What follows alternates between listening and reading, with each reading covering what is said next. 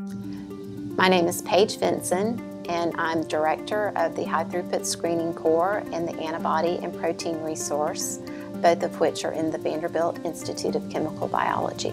The HTS Core provides services for assay development, screening, data management and data analysis, and instrument training.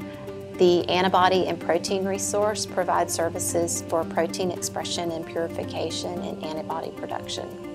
In order for an internal or external client to request services in one of the cores, it's as simple as sending us an email to schedule a meeting and we will decide if the project is a good fit. So those email addresses are hts at vanderbilt.edu and vapr at vanderbilt.edu. In the HTS core, the equipment mimics what a bench scientist would do in a lower throughput. Uh, so liquid handling and detection. However, it, the equipment is designed to operate on uh, plates and in high throughput mode. So multiple wells in parallel can be processed.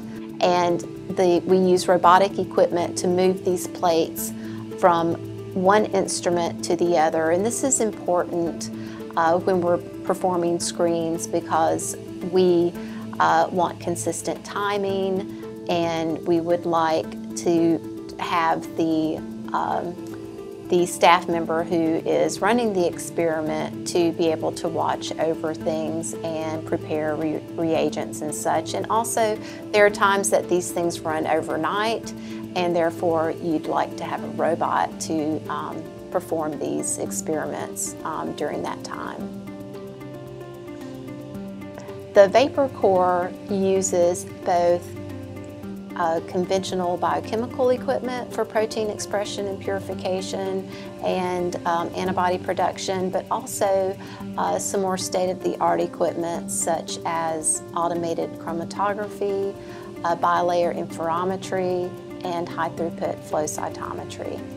We have success stories ranging from what may be considered small, everyday success stories, such as maybe a staff member determining an optimal expression and purification strategy for a protein that maybe an investigator's lab has struggled with for um, you know, a certain length of time.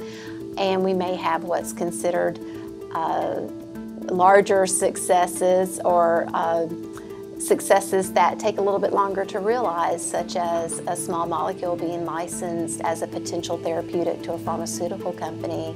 I was really excited when I saw that there was an opportunity for me at Vanderbilt. Um, you know, being able to speak with people every day who are driven by the pursuit of knowledge as well as the desire uh, for their research to uh, benefit people ultimately is a very rewarding experience for me.